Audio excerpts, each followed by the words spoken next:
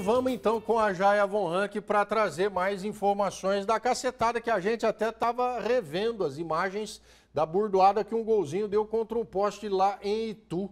Só não apagou a luz, né? Mas deve ter bambeado o poste, Jaya. Oh, olha o impacto, né? A gente tem aí imagens de dois ângulos aí mostrando a força mesmo com que esse veículo acaba batendo, colidindo nesse poste ali no bairro Rancho Grande, na cidade de Itu. Como você disse, Rodrigo, foi ontem, por volta das sete horas da noite, nem era tão tarde assim, né?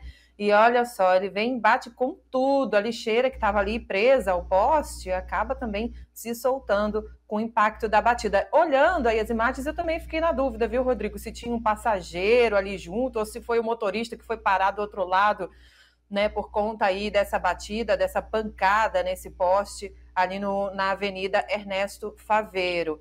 E, bom, a gente tem informações extraoficiais, né?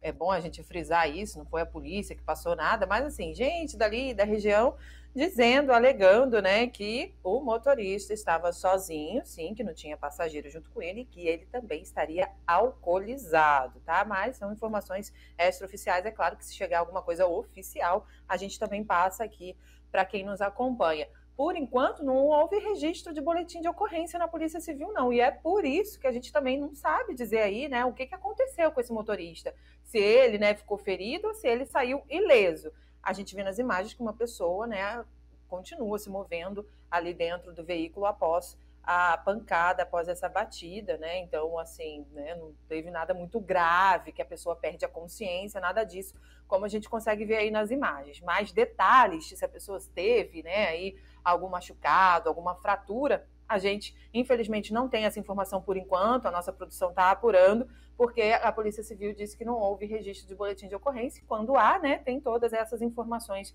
que a gente sempre passa por aqui.